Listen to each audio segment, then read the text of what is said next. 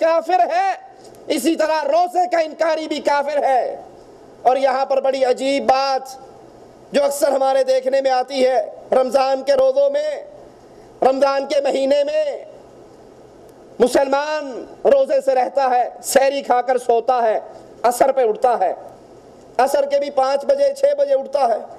زہر کی نماز نہیں پڑھتا اثر کی نماز بھی نہیں پڑھتا۔ اسے پوچھو، بھائی یہ کیا؟ کہا جی آپ کو نہیں پتا، میں نے روزہ رکھا ہوا ہے۔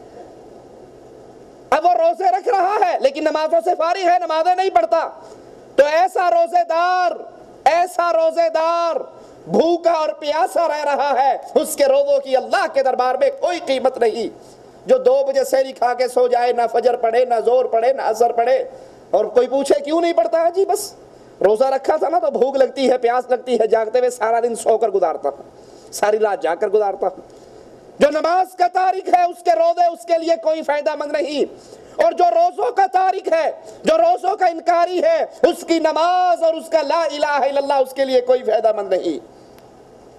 رمضان کے یہ روزے ہر مسلمان، بالغ، عاقل، مقیم، مرد، عورت، ان پہ فرض ہے۔ ہاں اگر وہ سفر کی حالت میں ہے، چاہے افطار کر لے، چاہے رکھ لے اور رمضان کے بعد جتنے دن سفر میں رہا، اس نے روزے نہیں رکھے، اس کی قضا ادا کرے۔ اور یہ روزے رکھنے کے لیے حالت ایمان، ثواب کی نیت، یہ بڑی ضروری ہے۔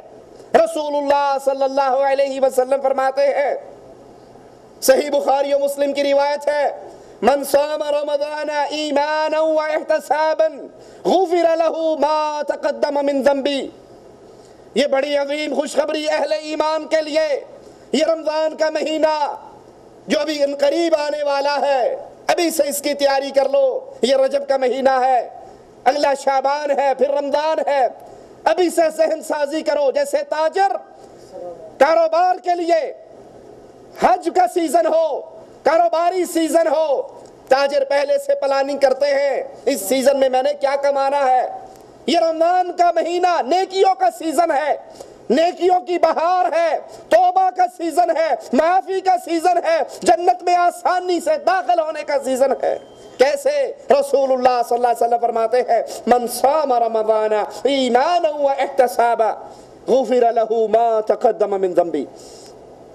جو انسان رمضان میں روزے رکھ لے، دو شرطیں بنیادی ایمان حالت ایمان میں وہ احتسابا نیکی کی امید رکھتے ہوئے، من سام رمضان ایمان و احتسابا جو حالت ایمان میں ثواب کی امید، اجر کی امید، نیکی کی امید سے روزہ رکھ لیتا ہے، غفر له ما تقدم من ذنبی، اللہ اس کی زندگی کے پچھلے ہر گناہ کو معاف کر دیتا ہے۔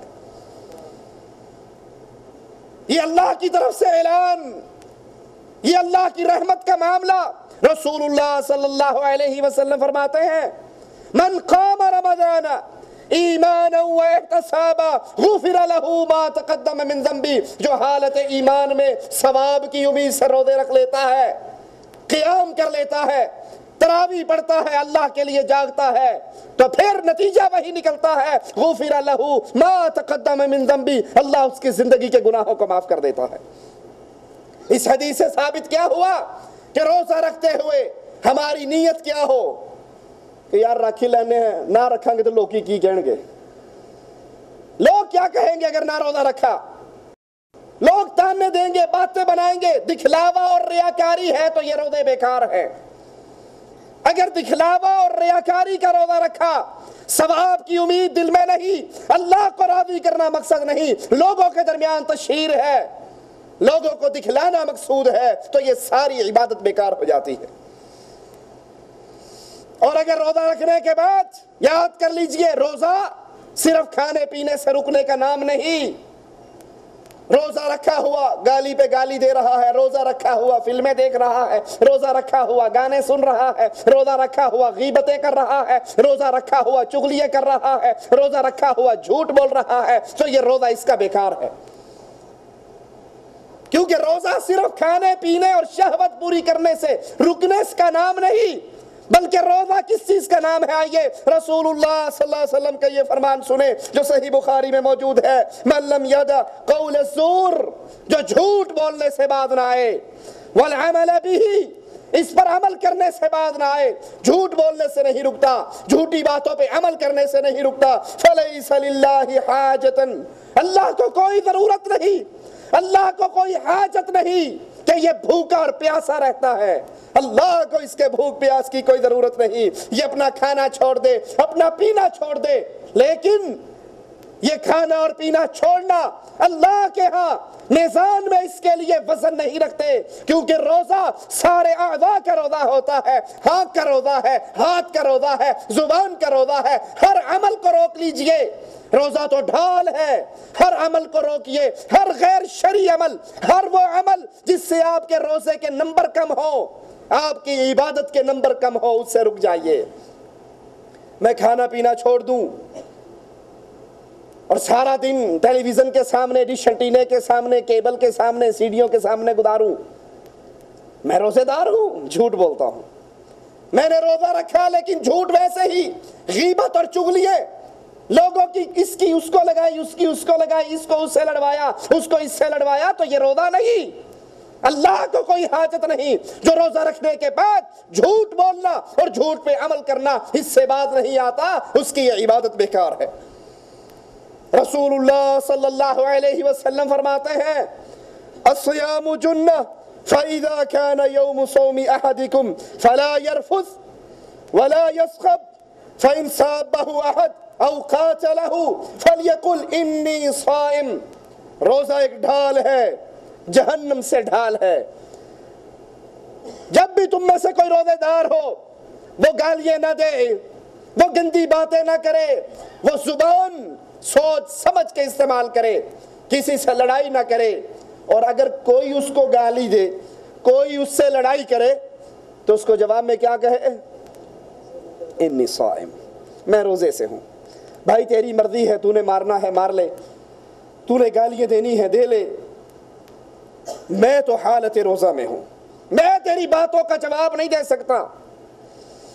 اور جب مسلمان کسی کی سیاحتی پہ خاموش ہو جاتا ہے، رسول اللہ صلی اللہ علیہ وسلم فرماتے ہیں، دو آدمی کسی مسئلے میں جھگڑے، یہ کہے میرا حق ہے، یہ کہے میرا حق ہے، کسی چیز پہ دعویٰ ہے۔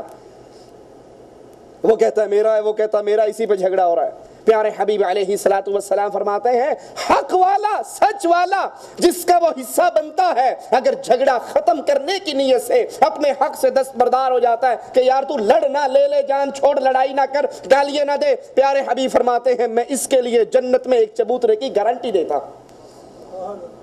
روزے کی حالت میں اگر کوئی لڑتا ہے، کوئی گالی دیتا ہے، کوئی مارتا ہے، کوئی یہاں پر بدتمیزی کا مظاہرہ کرتا ہے، تو اس کو ایک جواب دیجیے انی صائم، میں تو روزے دار ہوں، میں تیری بات کا جواب نہیں دے سکتا۔ روزے دار کو چاہیے ہر طرح کی بری باتوں سے، فضول کلام سے، فضول باتوں سے اپنے آپ کو، اپنے دامن کو بچا کر رکھے۔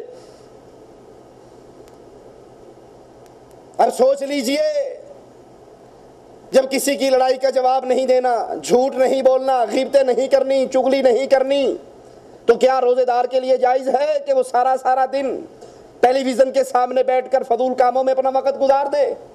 یہ روزہ اور یہ حالت روزہ تو بڑا عظیم عمل ہے۔ اس عمل میں دعا کیجیے۔ رسول اللہ صلی اللہ علیہ وسلم فرماتے ہیں، روزے دار کی دعا کو اللہ رد نہیں کیا کرتا۔ مالک عز و جل فرماتا ہے حدیث قدسی ہے، آدم کے ہر بیٹے کا عمل، اس کا ہر عمل، آدم کے بیٹے کا ہر عمل اس کے لیے ہے۔ وہ نیکی کرتا ہے، اس کی نیکی میں اضافہ کیا جاتا ہے۔ ایک نیکی کرے گا۔ مالک عز و جل فرماتا ہے، ایک نیکی کو دس گنا بڑھا بڑھا کر اجر دیتا ہوں اور دس گنا سے لے کے سات سو گنا تک بھی اجر بڑھ جاتا ہے۔ آدم کا بیٹا ایک نیکی کرے، دس گنا اس کو ثواب ملتا ہے۔ سات سو گنا تک بھی ثواب دیتا ہوں، لیکن سنو السوم لی وانا اجزی بھی لیکن روزے کی یہ مثال نہیں ہے لوگوں باقی نیکیوں کا یہ معاملہ ہے۔ ایک نیکی کرو گے، سات سو اجر پاؤ گے۔ لیکن مالک کہتا ہے، روزہ خاص میرے لیے ہے، اس کی جزا اور ثواب بھی قیامت کے دن میں ہی عطا کروں گا۔